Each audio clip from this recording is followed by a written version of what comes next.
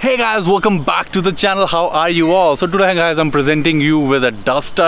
And आप सोच रहे होगे यार duster it's so long in the truth अब काफ़ी ज़्यादा पुरानी हो चुकी है but the thing is guys जब से गाइज़ डस्टर का टर्बो वेरिएंट आया है the massive 156 P H P one second hand market के अंदर एक्चुअली इसको बूम आ गया क्योंकि डीजल इंजन तो अब अवेलेबल नहीं रहे बी एस के अंदर डीजल इंजन हो चुके हैं बंद। And this one is the diesel Duster exactly मुझे नहीं पता कि 85 फाइव बी एच पी भी हंड्रेड टेन पे। I think it's hundred ten because it's an adventure model so basically guys today is not the review video of this particular dust आज actually मैं इस पर करने वाला हूँ फ़र्स्ट इंप्रेशन एंड बताऊँगा कि ये गाड़ी मुझे कैसी लगी। And actually I am six feet four six feet three inch tall so उसके अंदर स्पेस कितना है सारी चीज़ें गाइज़ मैं आपको इस पर्टिकुलर वीडियो के अंदर बताऊँगा। एंड फिर एक in the next in the second video रहने वाला है first drive experience of the Duster D C I the diesel version and उसके बाद गाइस देखते हैं शायद इसका रिव्यू मैं आपका प्रेजेंट करूँ क्योंकि मैं आ, उन रिव्यूअर्स की तरह नहीं काम करना चाहता कि 10 मिनट गाड़ी देखी एंड उसके बाद आपको कार का रिव्यू दे दिया।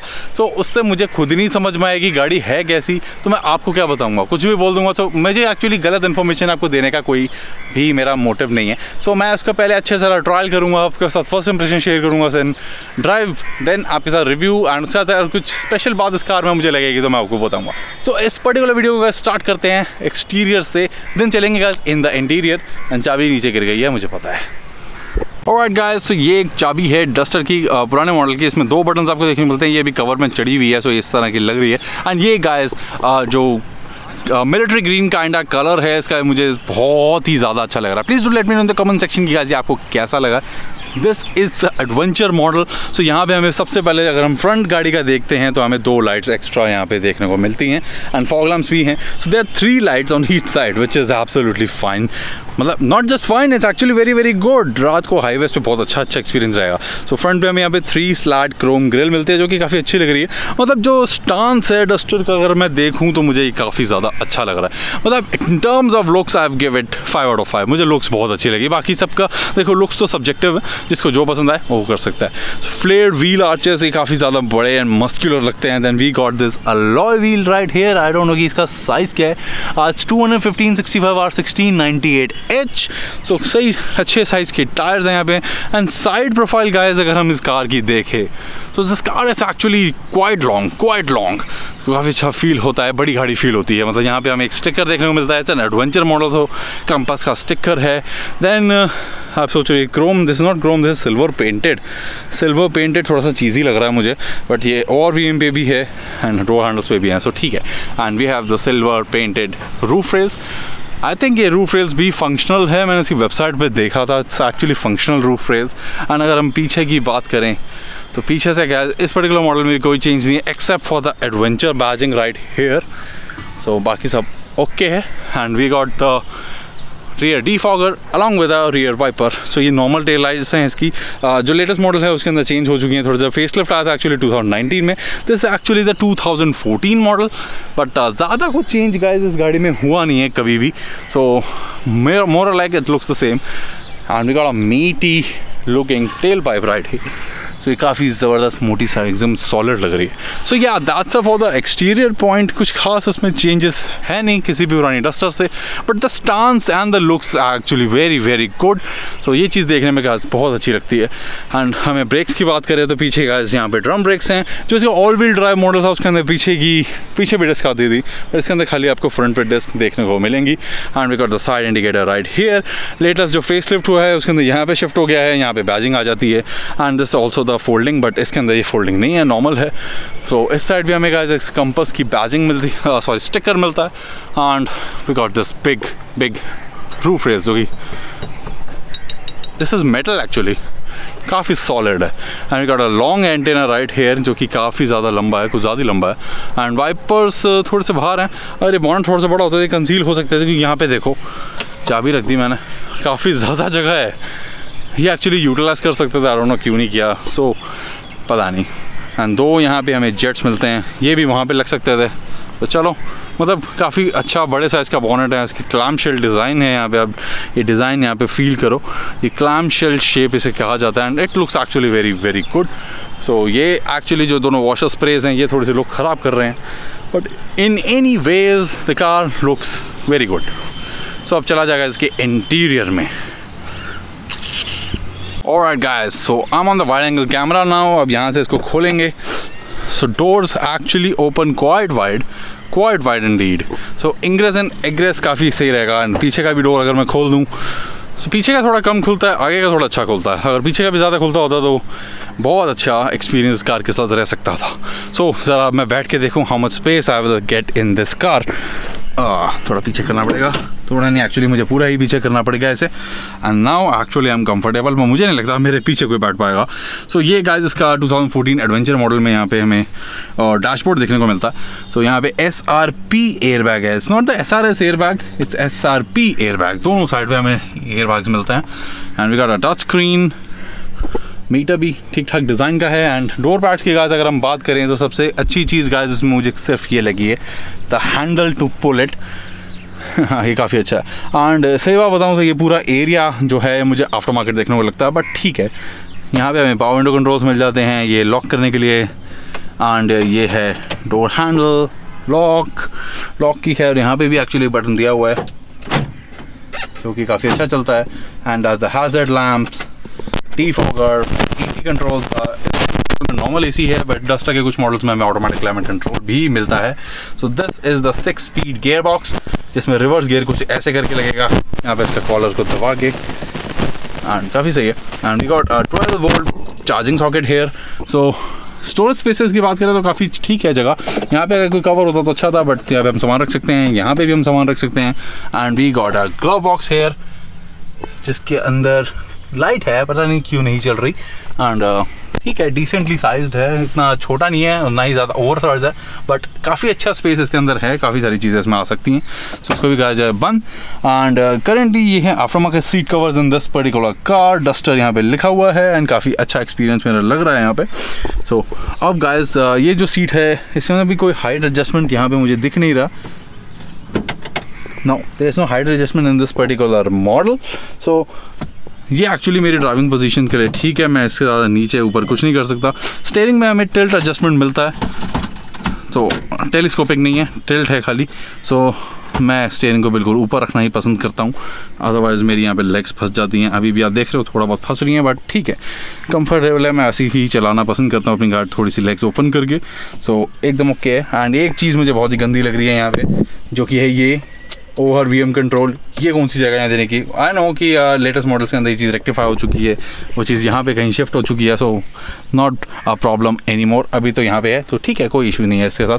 एंड फ्रंट सीट के अंदर देखो एडिकेट स्पेस है, मुझे डैशबोर्ड पूरा विजिबल है विंड स्क्रीन थोड़ी छोटी लग रही है just because of my driving position क्योंकि मैं कुछ इस तरह से बैठा हूँ यहाँ पे आपके साथ दरवाज़ा बंद करके भी अगर मैं बैठूँ तो कुछ इस तरह से लगेगा। हेडरूम एक इंच के आसपास ही है मेरे पास हेडरूम को इतना ज़्यादा नहीं है बट ठीक है not bad at all so अब ज़रा का बैक सीट में देखते हैं कि कितना ज़्यादा स्पेस हमें मिलता है। सो so, ज़रा डोर को यहाँ से खोलें। अब मैं आपको दिखा देता हूँ कि कितना स्पेस यहाँ पे हमें अवेलेबल है कितना स्पेस अवेलेबल नहीं है। सो so, ये गाइज़ मेरी तरह से आ, मेरी लेंथ के हिसाब से ये सीट एडजस्ट हो चुकी है। And we got next to nothing space मैं चाह के भी यहाँ पे अपना पैर नहीं फंसा सकता। सो टॉल पीपल के लिए ये एक जगह बहुत ही मतलब स्पेस काफ़ी कम रहता है। So that is not actually good so passenger side बैठने से पहले गाइस मैं आपको दिखाता हूँ इसका बूट स्पेस जो कि मैसिव है। This is actually the segment best so यहाँ पे इसको खोलने का सबसे गंदा तरीका अंदर से आपको कोई ऑप्शन नहीं मिलता। लेकिन अभी गाड़ी खुली है तो ये शायद खुल जाएगा, बस इसको दबा के यहाँ से खोलना है। यही इसका बटन है। सो ये टेल गेट खोल दिया है मैंने। सो दिस इज़ तक the massive 475 litre of boot space guys जो कि काफ़ी अच्छा है। एंड इसके नीचे गाइज़ हमें कुछ नहीं मिलता देखने को, क्योंकि जो स्पेयर व्हील है वो बाहर है। एंड हम जो भी टूल्स वगैरह हैं, वो यहाँ पे आते हैं विच इज़ ये कवर मुझे अच्छा लगा, सही बात बताऊँ तो। एंड अगर मैं दिखाना चाहूँ, आपको कोशिश करूँ तो ये है गाइज़ इसका स्पेयर व्हील यहाँ पे कहीं। एंड ये यहाँ पे टो हुक दे रखा है। Which is not bad at all. And and and and, and, and everything feels fine here. And यहाँ पे प्लास्टिक का इसमें है तो यहाँ पे स्पेस दे रखा है हमें पकड़ने के लिए. That's a nice third so just की ये बात मुझे अच्छी लगती है कि सॉलिडली बिल्ट है. इसकी ये बात अच्छी है. It's not like Maruti cars क्योंकि उनका स्पेस थोड़ा सा कम रहता है. अभी मैं पैसेंजर साइड सीट को आगे करना चाह रहा हूँ. There we go see guys मैंने पूरी आगे कर दी. दैट इज़ द फुल आगे. एंड uh, बहुत ही छोटे साइज़ का बच्चा इधर बैठ सकता है. कोई बड़ा नहीं बैठ सकता. सो so, अब मेरे पास यहाँ पे मैसिव स्पेस है. मैसिव मैसिव स्पेस है. बट चेक uh, करो. अंडर था सपोर्ट इज़ नेग्लिजिबल क्योंकि I am just six feet three inches tall normal average height at five eight five seven five nine five ten के लिए कोई खास issue नहीं रहने वाला। एंड यहाँ पे गाइस हमें एक आमरस भी मिलता है which is nice very good indeed तो यहाँ से कुछ लुक किस तरह की आएगी इसकी काफ़ी अच्छी लग रही है गाड़ी ये। एंड uh, पीछे कुछ ज़्यादा अम्यूनिटीज़ नहीं है बस छत पे आपको यहाँ पे लाइट मिल जाएगी एक इधर एक इधर दोनों पैसेंजर्स के लिए। सो so, वो कह रहे हैं कि थर्ड पैसेंजर को बैठाओगे मत क्योंकि पीछे लाइट नहीं है तीसरे के लिए। सो इसको बंद कर दिया जाए। एंड पार्सल शेल्फ का साइज़ देखोगा इसको ज़्यादा ही अच्छे साइज़ का है, काफ़ी बड़ा है। इस चीज़ very good indeed and यहाँ पे हमें एक बॉटल होल्डर मिलता है। एंड डोर कार्ड्स के अंदर even on the newer models guys यहाँ पे कुछ भी नहीं है। I mean just hard plastic सामान रखने की कोई जगह नहीं है। एंड यहाँ पीछे सीट को फोल्ड करने के लिए बट इसमें कोई सिक्सटी फोर्टी स्प्लिट नहीं आता। एंड यहाँ पे गाइस हमें charging socket which is nice and दिखाई दिया था हैंड सब कुछ दिखा चुका हूँ मैं आपको। सो so, या yeah, यही है गाइस इस डस्टर का इंटीरियर आ, मुझे बताना guys in the comment section कि आपको कैसा लगा है ज़रा हम चला जाए बाहर एंड फिर से ज़रा दरवाज़ों को थर्ड किया जाए। I really like this sound man मतलब ये चीज़ मुझे काफ़ी ज़्यादा अच्छी लगती है। सॉलिडिटी है इस गाड़ी के अंदर। मतलब it's not like a tin can it's a very solid very solid well build car बस इंटीरियर स्पेस के अंदर इसमें थोड़ी सी कमी रह गई। बाकी एवरीथिंग फील्स फाइन अगर आपकी छोटी फैमिली है या आप एवरेज हाइटेड हो एवरेज इंडियन हाइटेड तो आपको कोई इशू नहीं आने वाला। मैं actually six feet three inch tall हूँ सो उस वजह से मुझे काफ़ी दिक्कत यहाँ पे फेस करनी पड़ती है। But rest and all everything feels absolutely fine in this vehicle बाकी जो ये प्लास्टिक्स हैं, सबको हर जगह हार्ड प्लास्टिक्स है बट मुझे उससे खास सच्ची बात बताऊँ, मुझे कोई प्रॉब्लम नहीं है।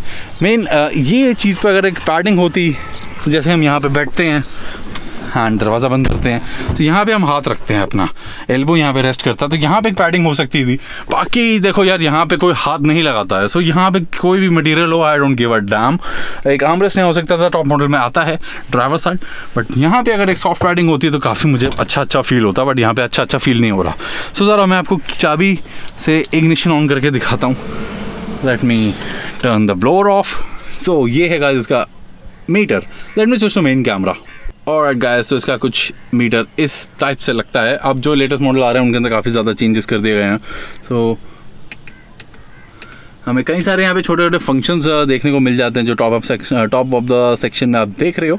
So nine thirty five kilometres eighteen point seven I don't know क्या है सिक्सटी थाउज़ेंड समथिंग कार चली हुई है। This must be the trip meters I think eighty seven kilometres की रेंज है। 10.7 की माइलेज दिखा रही है क्योंकि गाड़ी भी काफ़ी ज़्यादा ऑन थी। This is a diesel this gives way more mileage than that and 154 की भी रेंज बता रहा आई डोंट नो ये क्या है एग्जैक्टली exactly, बाकी मुझे आपको बताऊँगा in the review video of this particular car so यहाँ पे आप देखो एक टच uh, स्क्रीन हमें देखने को मिलता है। ओके सो ग्राफिक्स से देखा जाए तो इसमें वाइट कलर के आ रहे हैं जो कि ठीक ठाक से लग रहे हैं कोई इशू नहीं लग रहा मुझे। सेटिंग्स में देखें। व्यू ब्लूटूथ लिस्ट, ये, वो audio volume speed loudness balance fader sound got every feature map mode AC info सारा कुछ इसके अंदर अवेलेबल है। मीडिया में भी देख सकते हैं कि अभी कोई मीडिया डिवाइस कनेक्टेड नहीं है। Radio map caution agree so ठीक है it's not bad at all so ये जहाँ पे मैं हूँ, वही जगह बता रहा है which is nice not bad at all यहाँ से बंद करते हैं नेविगेशन भी हम ऑन कर सकते हैं। ठीक है, इसमें फीचर्स जो जो बंदे को चाहिए होते हैं, वो सारे फीचर्स गाइस इसके अंदर अवेलेबल है।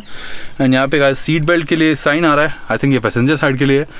ये लॉक अनलॉक डिफॉगर सब कुछ मैंने आपको बता दिया।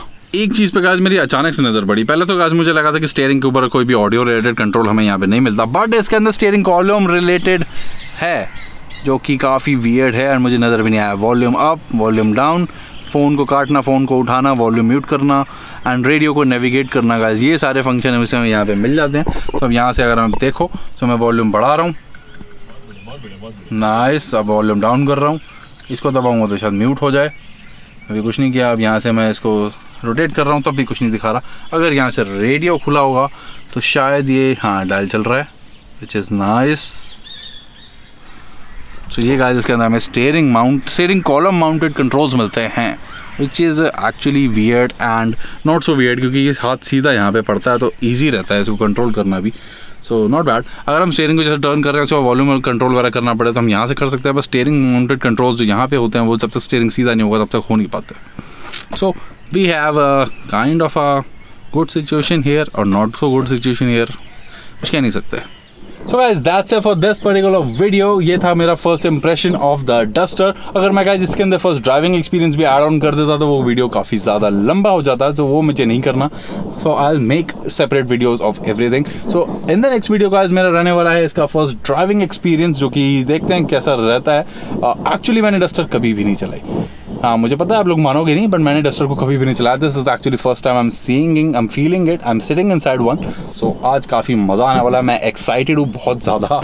तो मज़ा आ रहा है। सो या गाइस मिलते हैं नेक्स्ट वीडियो के अंदर। एंड गाइस अगर हम नए हो मेरे चैनल पे so please do check out the videos and playlist section खाली कार्स रिव्यूज़ के अलावा कारण हम ऑडियो मेरी पर्सनल कार्स कई सारी चीज़ें आपको मिल जाएँगी। सो so, देखना मत भूलना। एंड अगर सबको कुछ भी अच्छा लगता है तो please do consider subscribing and मिलते हैं next video bye take care